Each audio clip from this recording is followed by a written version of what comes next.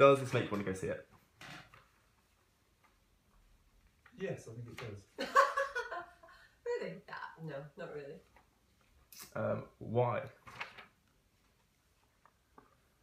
Uh, there, there was this, there was there's some little tiny bits of humour and life to it that the other one, that's the previous one lacked.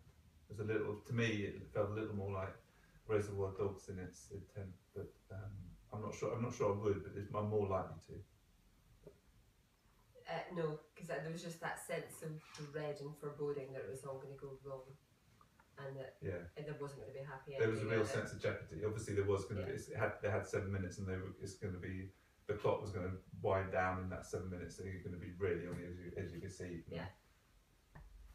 Um, what do you think about the soundtrack? Um, it almost passed me by. Yeah, I was going to say it was a bit nondescript. Um, and costumes, characters. What do you take from it? Well, the masks were rubbish. uh, they were they were a lot a bit more like Reservoir Dogs. They're a lot more kind of sweaty and greasy and real than than the second one, which Yeah. was all kind of high tech and And uh, as for the plot, what do you think the plot centres around?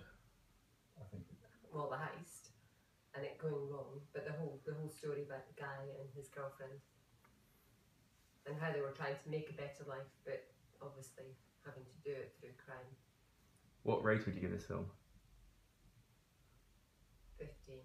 I think probably is fifteen. Yeah. Okay. And the target audience? young adolescents, uh, sort of teenagers upwards. Specific numbers, please. Well, 15 up, 14, 15 up, Two, up to what? 30ish. Yeah.